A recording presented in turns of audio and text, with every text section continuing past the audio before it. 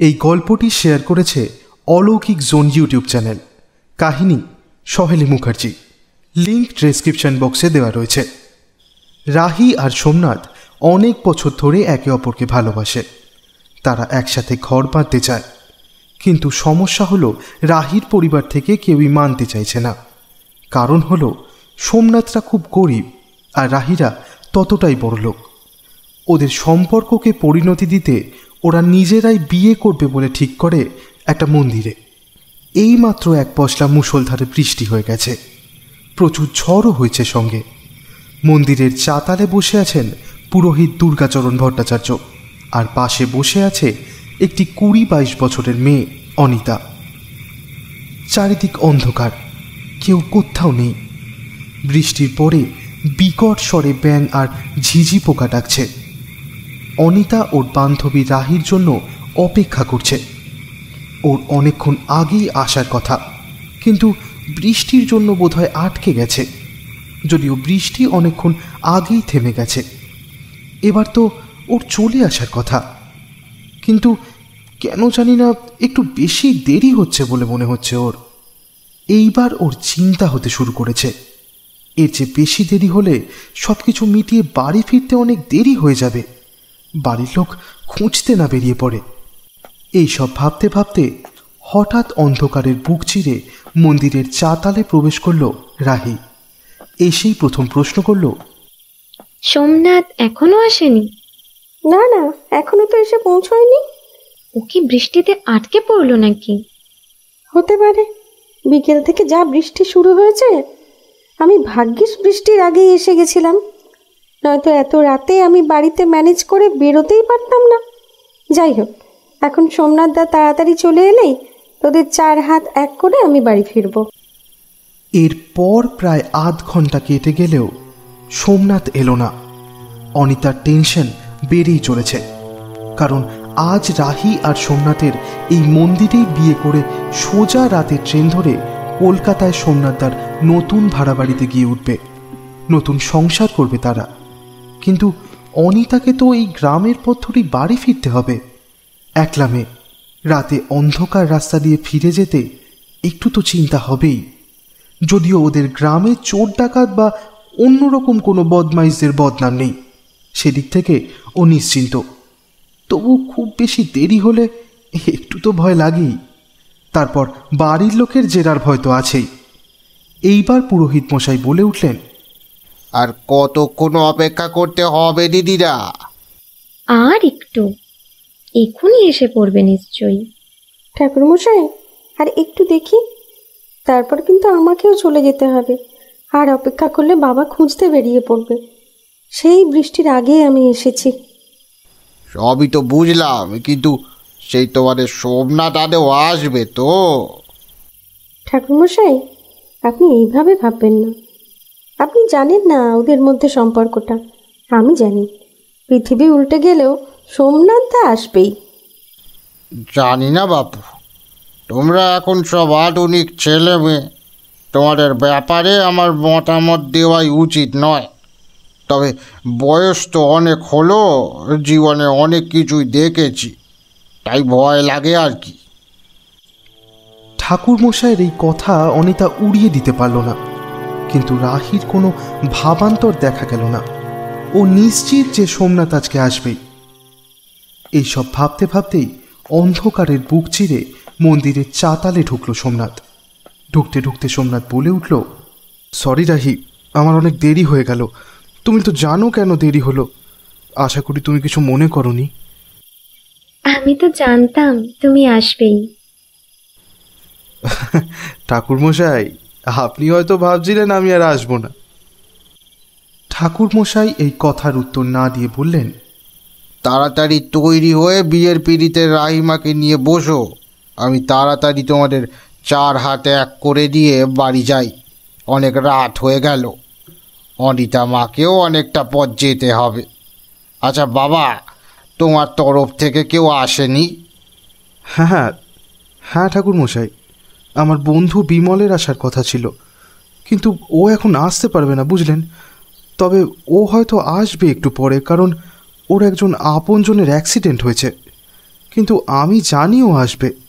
তবে আমাদের তো আর ওয়েট করলে চলবে না। আপনি, আপনার কাজ ছেড়ে নিন। আমি আমার রাহিকে নিয়ে চলে যাই। কলকাতায় যাওয়ার গাড়ি তো আমাদের জন্য অপেক্ষা করবে না। আপনি আপনি তাড়াতাড়ি শুরু করুন। ও যদি এসে দেখে এখানে কেউ নেই, ও বুঝে যাবে। আর কোনোভাবে যদি আপনার সাথে ওর দেখা হয়ে যায়, তাহলে ওকে একবার বলে দেবেন আপনি। মানে আপনি থাকতে থাকতে যদি ও চলে আসে। এদিকে অনিতা একটা কথা কিছুতেই বুঝতে পারল না যে সোমনাথ এসেই রাহিকে কেন বলল যে ও জানে সোমনাথের কেন দেরি হয়েছে। রাহি তো সোমনাথ আসার অনেক আগে থেকেই এইখানে অনিতার সাথে ছিল। যাকে, এসব কথা মন থেকে দূর করে ও আবার বিয়ে দেখতে শুরু করল। সর্বমঙ্গলা মঙ্গলে শিবে সর্বার্থ সাদিকে শরণ্যে স্তম্ভকে গৌরী, নারায়ণী, নমস্তুতে। যদিতং হৃদয়ং মম, তদস্তু হৃদয়ং তব। দেখতে দেখতে বিয়ের উপাচার শেষ হলো। রাহি আর সোমনাথ গলায় মালা পরে ঠাকুরকে নমস্কার করে ঠাকুর মশাইয়ের দিকে এগোলো নমস্কার করতে। সঙ্গে সঙ্গে ভট্টাচার্যী মশাই বললেন আহা আমাকে নমস্কার করো না। ভগবানের সামনে মানুষকে নমস্কার করতে নেই। তোমাদের আমি আশীর্বাদ করছি। সুখে থাকো সুখে থাকো। এবার আমরা আসি ঠাকুর মশাই সুখে থাকো। অনি আসি রে ভালো থাকিস। অনিতা কিছু বলতে পারল না। ও শুধু তাকিয়ে রইল, বন্ধু চলে যাচ্ছে অনেক দূরে। চোখ ফেটে জল বেরিয়ে আসতে চাইছে।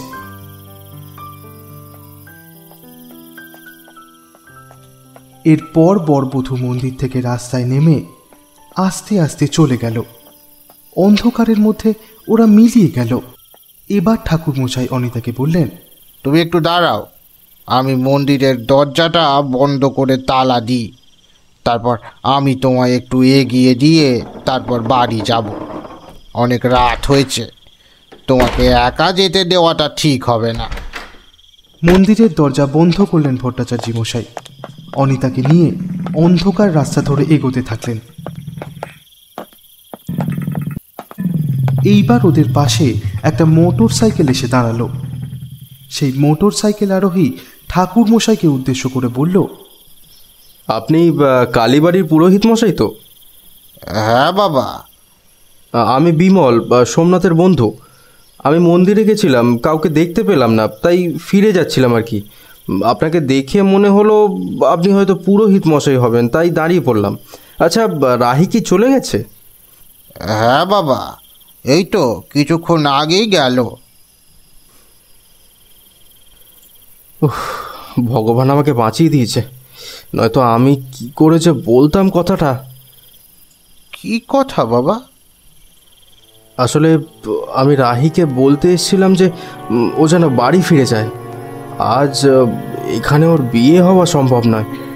ও যেন অপেক্ষা না করে।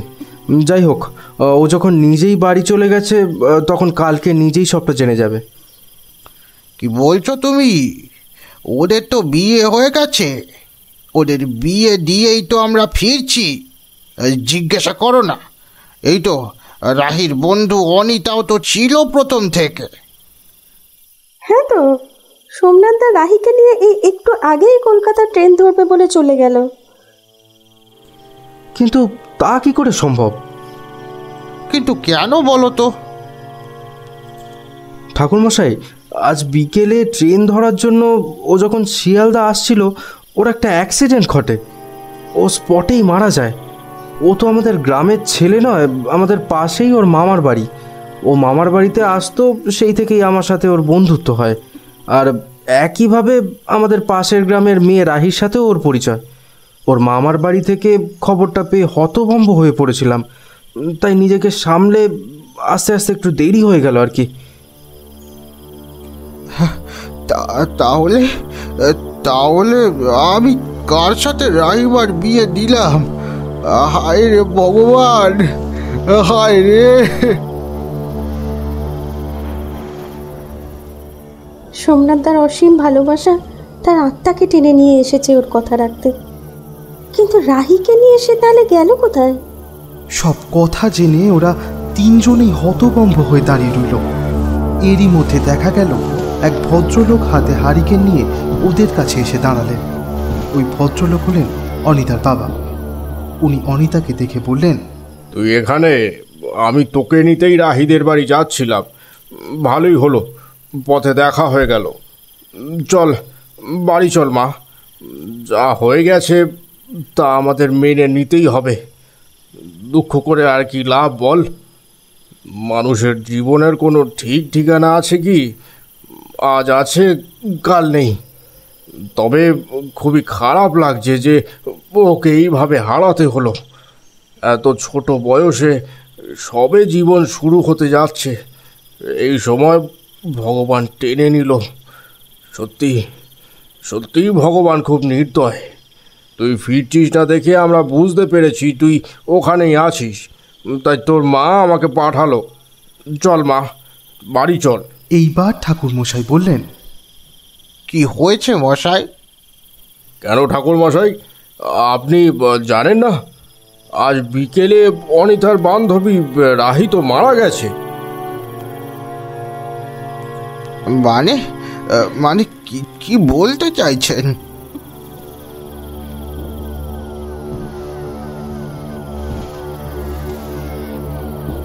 শুনেছি। শুনেছি বিকেলে ঝড় বৃষ্টির মধ্যে কোথায় যেন যাচ্ছিল। বৃষ্টির হাত থেকে বাঁচতে গাছের তলায় দাঁড়িয়েছিল কিন্তু কিন্তু ভাগ্য দেখুন, সেই গাছেরই একটা ডাল ঝড়ে ভেঙে মাথায় পড়ে। ওখানেই মারা যায়। তবে শুনলাম বৃষ্টির মধ্যে ও কেন বেরিয়েছিল আর কোথায় যাচ্ছিল সেটা নাকি কেউ জানে না। আমার মেয়ে বৃষ্টির আগেই বেরিয়েছিল, কিন্তু এখনও ফিরছে না দেখে বুঝতে পেরেছি ও হয়তো রাহিদের ওখানেই আছে। ওর খুব ভালো বন্ধু ছিল, তাই ওকেই নিতে যাচ্ছিলাম আর কি। এই সব শুনে সবাই হতভম্ব হয়ে গেল। কারোর মুখ থেকে আর কোনো কথা বেরোলো না। এরপর যে যার বাড়ির দিকে চলে গেল।